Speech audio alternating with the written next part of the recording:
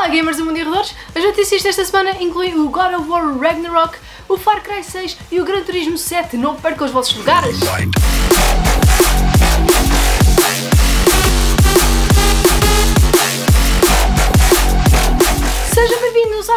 Moshpit News, onde podem saber todas as novidades semanais do universo gaming.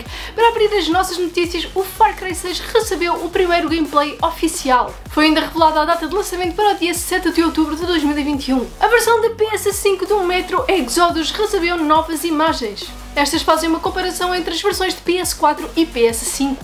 Peter Fabiano, produtor de jogos como Resident Evil Village e Resident Evil 3 Remake, deixou agora a Capcom. Ao fim de 13 anos na companhia japonesa, Peter passou agora para a Bungie. Foi anunciado que o Assetto Corsa 2 está em produção. O lançamento está previsto para 2024 e o jogo terá uma versão mobile. Foram revelados os jogos de junho da PlayStation Now. A lista inclui The Witcher 3, Sonic Forces, Sonic Team Racing, Sonic Mania, Virtua Fighter 5 Ultimate Showdown, Car Mechanics Simulator e Slay the Spire. Foram revelados os jogos de junho do Xbox Game Pass. A lista inclui Wild at Heart, For Honor, Darkest Dungeon e Backbone. Surgiu um rumor de que o jogo Halo Infinite será focado na sua vertente multiplayer. O jogo tem lançamento previsto para 2021. A sequela do God of War foi adiada. O jogo está agora previsto para 2022 e o estúdio Santa Monica confirmou ainda que o jogo terá uma versão de PS4. O Gran Turismo 7 foi adiado. O jogo está agora previsto chegar em 2022 e terá também uma versão PS4. O Band Studio anunciou que está a desenvolver uma nova IP. Isto afasta a possibilidade de termos uma sequela de Days Gone nos próximos tempos. A Sony oficializou a Team Asobi. Esta é uma nova divisão dos estúdios internos da Sony constituída pela equipa de Astrobot Rescue Mission e Astro's Playroom.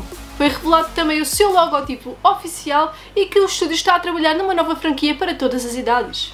O Neo The World Ends With You recebeu novas imagens de gameplay. Temos vários vídeos que variam com gameplays entre 7 minutos e 10 minutos.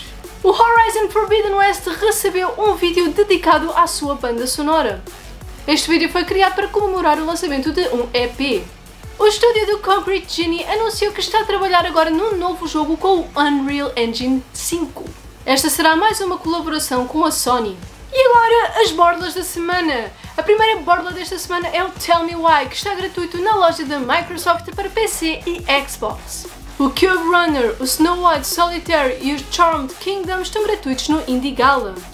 E o Frostpunk está gratuito na Epic Game Store. Para terminar, a Crytek anunciou a Crysis Remastered Trilogy, uma remasterização da trilogia original do Crysis e é com o trailer que nós iremos ficar. See you in the pit!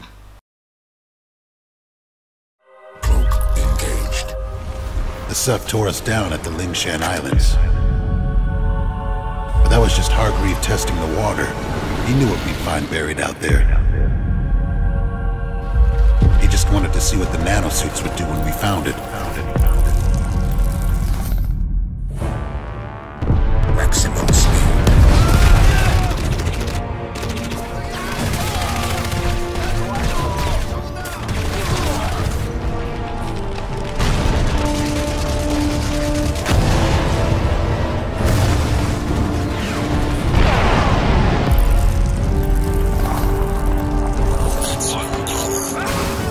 Hargreave was right.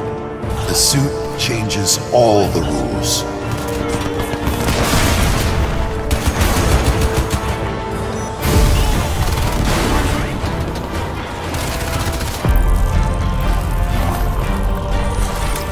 I had to come back with what I found.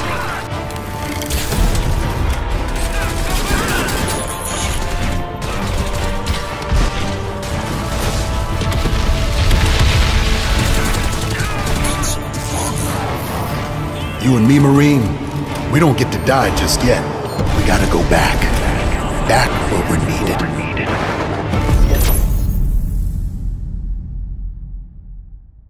Thought I'd gone?